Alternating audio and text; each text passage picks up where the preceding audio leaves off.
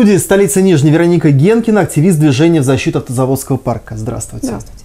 Вот на прошлой неделе прошел митинг против реконструкции Молодежного проспекта. Вот вопрос формулирую предельно просто. Что это было? Два варианта ответа. Вот местные жители не хотят улучшения условий проживания в своем районе или все-таки власть нарушает грубо закона, который сама же, кстати говоря, и принимает? Какая Ну, безальтернативная, да? Да, безальтернативная, конечно, позиция. Я думаю, что нарушение законов есть, конечно, констатировать, какие именно законы. Вот сейчас прям вот выложить я не, я не готова, может быть. Но это сделал Александр Но, Кулаков, мы по это крайней знаем. Мере, по крайней мере, э, нарушаются в два раза санитарно-защитные зоны автозаводского парка, нарушаются санитарные нормы, очень грубо людей, которых там будет проживать. А Давайте это- мы поймем, вот русскими словами, что это такое санитарные нормы, то есть, что это значит? Ну, если на проспекте Гагарина и на проспекте Ленина от проезжей части многополосной там порядка 50-100 метров до жилых домов, Мгм. и причем на первых этажах там в основном офисы, то здесь метров 12-15. Не совсем Измеряли, мало. да. То есть, ну как люди будут жить в таком, в таком аду? Там вообще всего 30 домов стоит. Всего 30, 30 домов, домов, вот по пути проспекту Молодежному, да, которые будут жить э, в экологически невыносимых условиях. И людям предлагают жить за экранами, поскольку они находятся, значит, Ну да. э, дома на, э, в 12 метрах от дороги, нам поставят экраны э, прозрачные, которые будут постоянно запыляться. Там, значит, садик стоит на дороге. Да, и вставить шумозащитные окна. Где? В квартирах? В квартирах. За счет бюджета? Видимо, да. Где они столько денег возьмут, непонятно. Непонятно.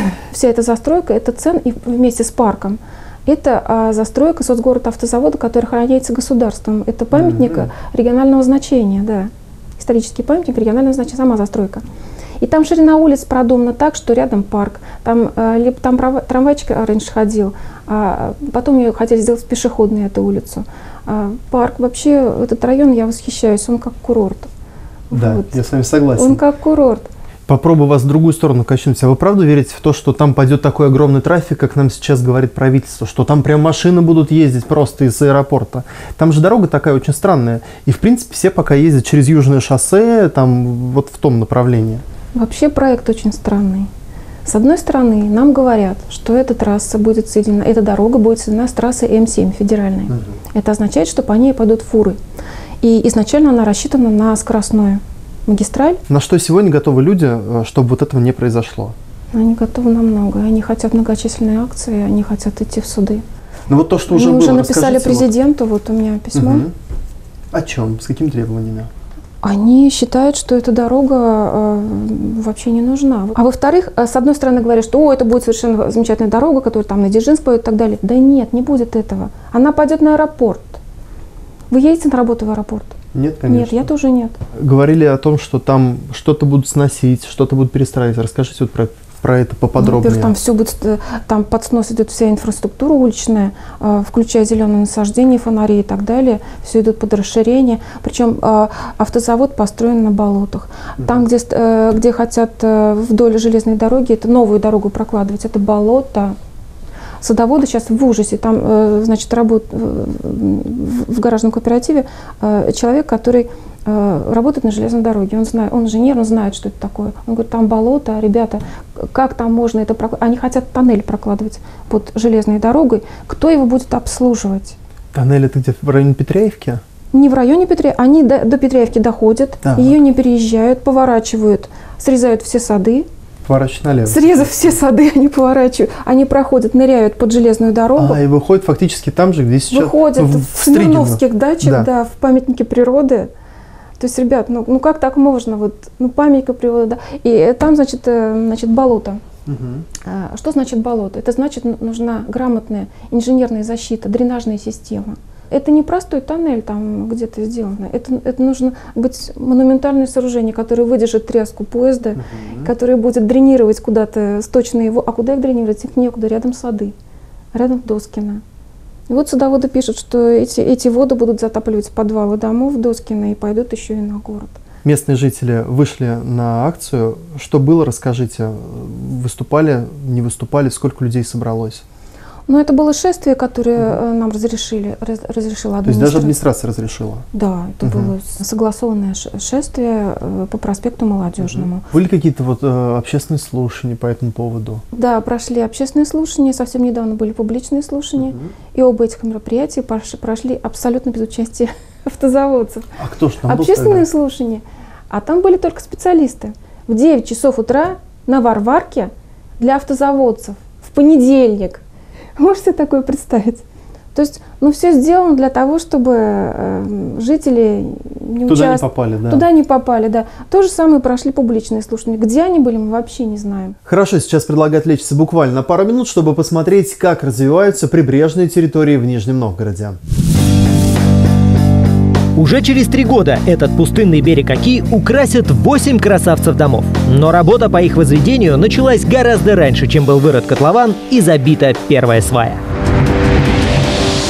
Еще два года назад в географическом центре нашего города, около площади Комсомольской, все могли видеть большой пустырь, заросший кустарником. И только принятая городом концепция освоения прибрежных территорий положила начало большим переменам. Совсем скоро берег Оки один за одним начнут украшать дома современного жилого комплекса. Это открытое место, по сути, одна из видовых таких точек в Нижнем Новгороде. Поэтому было принято решение проектировать высотные дома которые, э, как говорят о респектабельности, надежности жизни в таком районе, престижности жизни в таком районе. Авторов проекта волновал не только внешний вид жилого комплекса, но и комфорт проживания в нем. А поэтому при работе над проектом было учтено множество деталей. Дома располагаются таким образом, чтобы каждая квартира получила по максимуму солнечного света и тепла, и чтобы из окон наибольшего количества квартир открывались прекрасные виды на реку Ака, Дятловы горы, Стрелку. Более верно будет сказать, что жилой комплекс проектирован так, чтобы в себе сочетать комфортность и эстетичность. Внутреннее пространство зданий также подчинено требованиям функциональности и удобства. В подъездах просторные входные группы, 4 лифта, 2 грузовых и 2 пассажирских.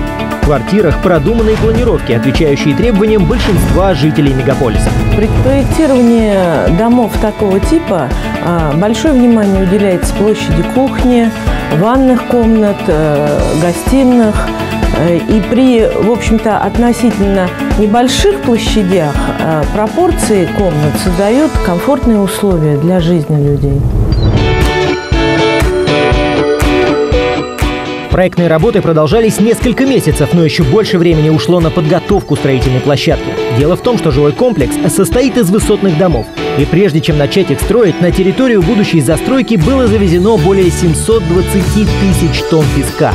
Это позволило выровнять и укрепить площадку, а также создать необходимые условия для будущего благоустройства – посадки деревьев и кустарников. Центре микрорайона будет большая зеленая зона с детскими и игровыми площадками, местами отдыха для людей всех возрастов. В целом на территории жилого комплекса планируется высадка 370 деревьев и более полутора тысяч кустарников. В концепции строительства жилого комплекса учтено все для создания комфортной жизни. Уютные квартиры, благоустроенная территория, развитая инфраструктура, удобная транспортная развязка – все это составляющие успешной жизни, выбор в пользу которой ежедневно делают более 10 нижегородских семей. Ну а мы будем и дальше следить за тем, как рождается ее счастливый талисман. Возвращаемся в студию. То есть я правильно понимаю, что на сегодняшний момент компромисс, вот именно все, что касается проспекта Молодежный, невозможен? Я не знаю, о каком компромиссе может идти ну, речь. Например, о компромиссе... Дорога, дорога которая, которая не нужна. Вот нет, нет, я сейчас, вот да, я как раз сейчас предложу. южное шоссе. Вот, правильно, расширить южное шоссе и сделать ту, ту самую дорогу. Оно на самом деле широкое. Она дальше, оно, да, оно дальше сужается после улицы Патриотов. Там оно достаточно места до домов. Оно специально вот, сделано да, для да, того, да, чтобы конечно. проезжать из аэропорта и а, как бы и видеть, вот как, как пишут здесь садоводы, а, хотя бы видеть, а, гости поедут, и они хотя бы увидят живых людей, жителей ну, города, не испугана губернатором, да, и не унижена губернатором, э, это самое, чтобы они увидели живые улыбающиеся лица.